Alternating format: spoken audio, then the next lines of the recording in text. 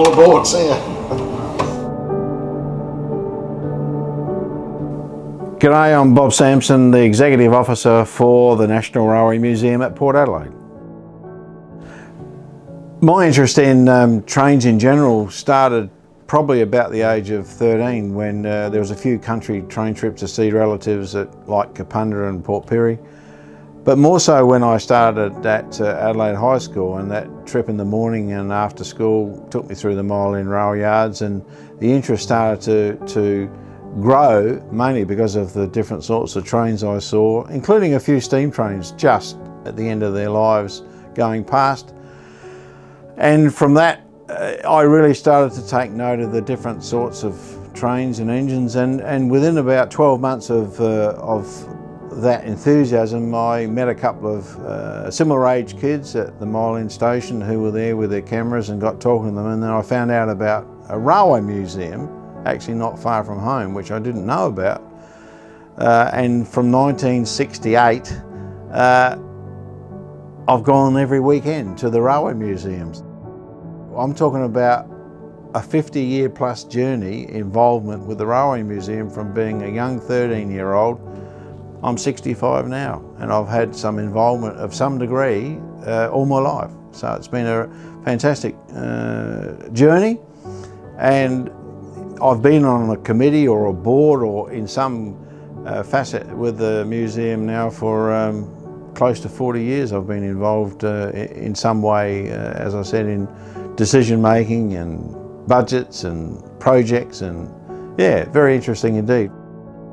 When I started in the railways as a young 16 year old youth porter at Adelaide Railway Station, uh, sweeping platforms and collecting tickets, it was important, still is I think. Uh, I very quickly became qualified to go out shunting uh, in the railway yards at Mile End. There you go. Uh, I was back to Mile End again. And then I become what's called a signalman in the old days of mechanical signal levers and things, not keyboards like they do today. Uh, I then had an opportunity to transfer into the operational administrative um, uh, area, which I did uh, with a transfer back to Adelaide Railway Station in the late 1970s. And I'm not, I'm not saying it's a good comment to make, but I've never had any uh, tertiary education. I don't have any degrees. I, I, I, love academia and what some people have been able to achieve, particularly young people. I never went near it. Never been to a computer course, haven't done anything.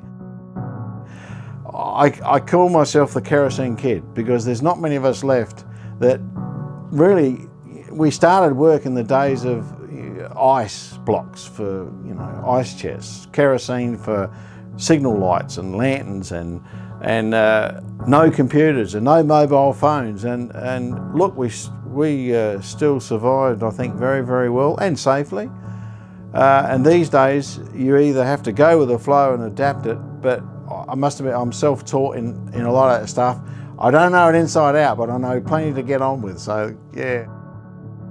Um, when the museum officially opened here in Port Adelaide, which was December 1988, it was a $2 million bicentennial uh, grant from the federal government.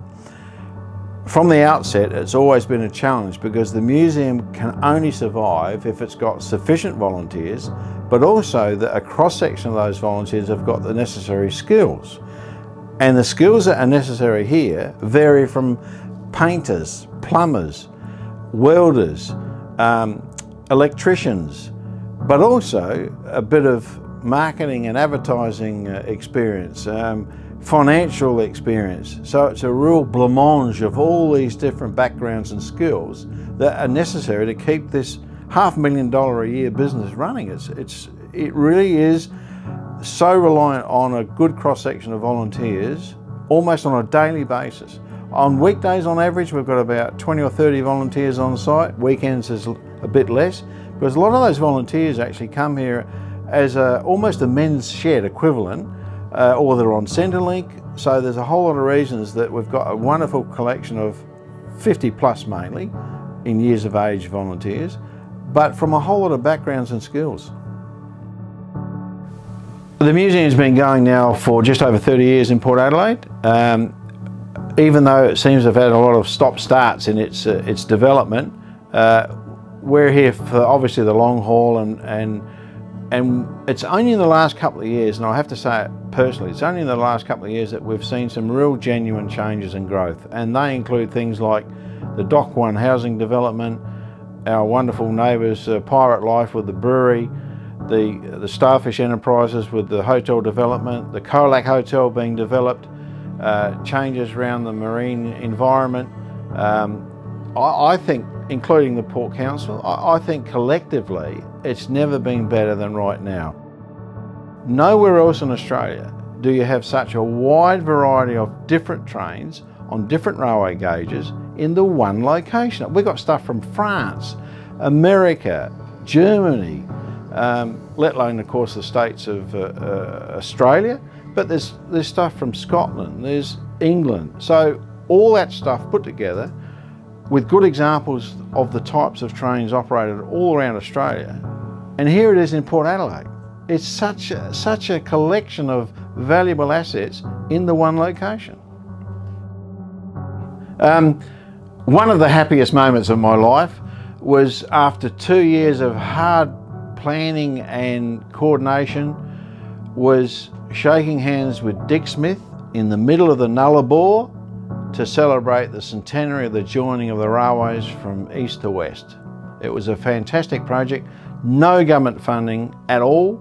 It was Dick Smith's sponsorship money and a lot of work by about 200 volunteers from Regional Development Australia, uh, local communities and the National Railway Museum of course helped make sure it happened. But to unveil those monuments in the middle of nowhere to celebrate centenary of the Trans-Australian Railway, it has to be up, way up the top. Look, I've had a wonderful, uh, a wonderful life. Um, hopefully I'll be around for a few years yet.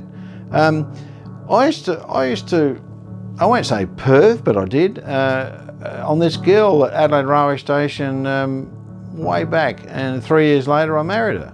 And there was a bit of, uh, a bit of a gap in between, but uh, lo and behold, uh, that's about 41 years ago now, and uh, we've had a wonderful uh, uh, journey, been overseas a few times, got a great daughter and son. I think that's very important, the home life and um, enjoying that time together.